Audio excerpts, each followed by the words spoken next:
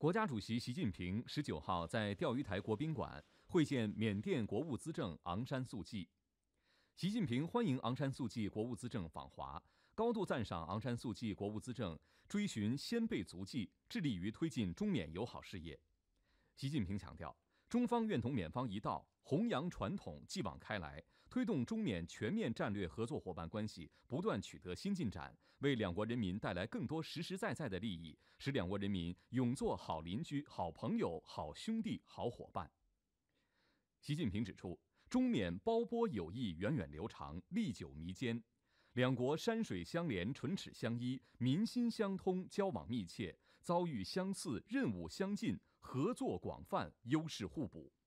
作为友好邻邦，中国将继续支持缅甸走符合自身国情的发展道路，维护国家稳定，促进经济发展，保持社会和谐。新形势下发展中缅关系，双方要加强政治引领。中方愿同缅方保持高层接触和各层级人员往来，加强沟通，增进互信。双方要对接发展战略。中方赞赏缅方支持“一带一路”倡议。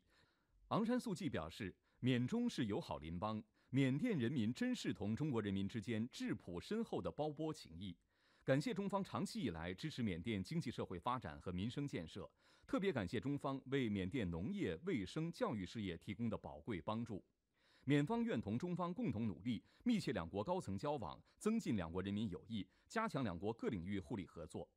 缅甸愿与中方共同努力，维护缅中边境地区稳定。也不会允许出现影响缅甸与邻国友好关系的事情。缅甸民盟和中国共产党都是代表广大人民的执政党，我赞同加强两党交流。杨洁篪等参加会见。